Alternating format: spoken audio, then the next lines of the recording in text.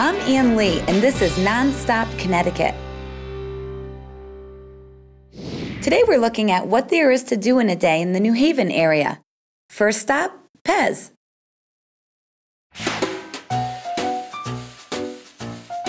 Since 1927, people have been popping these tiny little iconic candies in their mouths. More than 80 years later, Pez has opened its doors to the public here in Orange, Connecticut.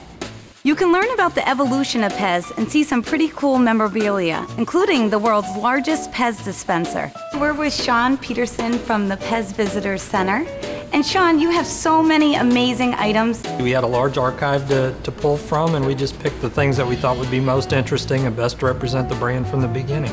So not only can the visitor experience looking at the wonderful collection you have, but what else can the visitor experience? You expect to be overwhelmed with all things Pez. Sight, smell, and taste. You can see everything that we've done. You can smell the candy being made, and you can taste any of our 14 flavors that we have available. And can I actually watch them making the candy? Absolutely. We've got uh, viewing windows into our production area Monday through Friday. You can watch the factory workers package everything. We've got videos that explain the process and lots of interactive things along the way for guests to enjoy. Do you have any little insider tip that you could share with us? I think people are surprised to find out we've been a brand since 1927, and when Pez started, it was an alternative to smoking. I think that's the biggest surprise that we get from people. You know, they always thought it was just a children's product and something, you know, from the 50s or 60s, but we've been around much longer. We went from an adult product to a children's product. We added a cartoon character to the top, fruit flavors, and that's giving it the staying power that it's had all of these years. Wow, who knew this was all right here in Orange? Next stop, we'll head about seven miles up to New Haven.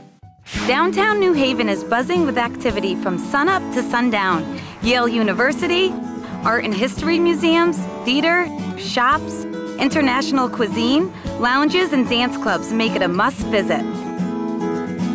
If you do visit, be sure to eat at Louis' Lunch, one of several burger joints across the country claiming to be the birthplace of the hamburger sandwich, or the original Frank Pepe Pizzeria Napolitana, famous for its signature thin crust pies since 1925. You won't be disappointed. Delicioso. Next stop is about 12 miles away in Branford. We are about to take a narrated cruise around the beautiful Thimble Islands a cluster of about 25 inhabited islands and hundreds of smaller islands off the coast of Branford, Connecticut. Legend has it that the pirate Captain Kidd buried his treasures here in the 1600s. Could today be the day it's discovered? Okay, probably not, but there are a lot of other discoveries to be made here.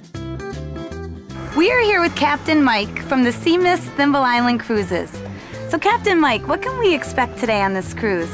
Well, we got a beautiful day out here. Uh, the wind is just right for a nice calm ride, and we're going to go around 25 islands and give you a description of each. Now, I hear there's so many stories here about the different islands. Do you have a favorite one in particular you like to share?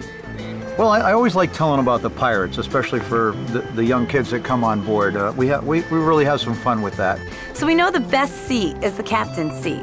But is there a second best spot that we should be sitting in on this cruise today? Well, almost everybody that comes down to the Seamist uh, likes the upper deck, just to be in the open air under the sun and, and, and get, a, get a view. What a beautiful place. Okay, next stop, six miles over to Bishop's Orchard. This place has been around since 1871, and they've been making wine since 2005. I love this winery. These award winning wines aren't made out of grapes like you'd expect. Instead, they're made out of fruits including pears, strawberries, and apples. We're on our way to the place, which is right next door, and it's BYOB. Happily impaired. This should go good with lobster. Let's go. Our next stop is less than a mile away. It's called The Place. It may look like I decided to go to a family barbecue, but I'm actually here at the place. At this unique eatery, visitors dine outdoors while their food is roasted on this fire pit. The menu is short and sweet.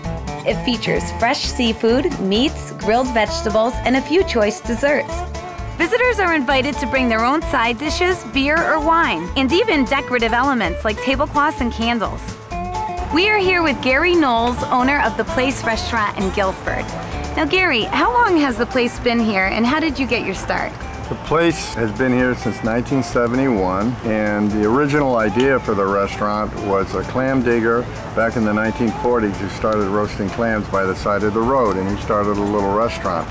And my brother and I worked for him uh, when we were in high school and college. And when he left the business, we decided we wanted to continue this business. Gary, tell us about the pit back here. The pit is 23 feet long and we use big pieces of wood up to 10 feet long and we cook lobsters and clams and steaks and corn on that fire. My mouth is starting to water, so I'm gonna go put my rump on a stump and dig in. See you soon.